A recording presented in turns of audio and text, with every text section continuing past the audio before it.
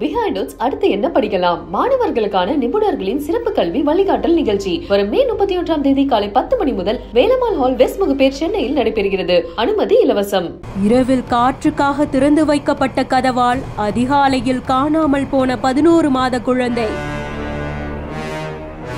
பதறி தேடிய பெற்றோர்கள் பக்கெட் தண்ணீரில் குழந்தை உயிரிழந்த நிலைமையில பார்த்ததா சொல்லப்படுறது. பெரும் பதை பதைப்பை ஏற்படுத்துது. தாம்பரம்க்கு பக்கத்துல சேலையூர் பகுதியில தான் இந்த நெஞ்சை ரணமாக்கும் சம்பவம் நடந்ததா சொல்லப்படுது. இந்த பகுதியில தம்பதிகள் வசிச்சிட்டு இருக்காங்க இவங்களுக்கு அர்ச்சனாங்கிற பதினோரு மாத பெண் குழந்தையும் இருந்திருக்காங்க. சென்னையில வெயிலோட தாக்கம் கடந்த சில நாட்களா அதிகமாகி இருக்கிற காரணத்தினால கணவனும் மனைவியும் காற்றுக்காக கதவை திறந்து வைத்து தூங்கினதா சொல்லப்படுது. அதிகாலை நேரத்துல பக்கத்துல தூங்கிட்டு இருந்த குழந்தை காணாம போனதை பார்த்து பதறி போன பெற்றோர்கள் அங்கேயும் இங்கேயும் தேடி அலைஞ்சதா சொல்லப்படுது.